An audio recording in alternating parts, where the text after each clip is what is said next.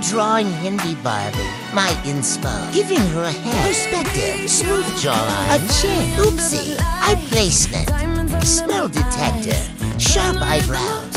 She looks possessed. Phew. Her mouth, those pearly whites, juicy lips, hearing attachments, huge earrings, eyeshadow. Don't her ears hurt? Her hair's growing back. Those pesky details. There we go. Have a nice day.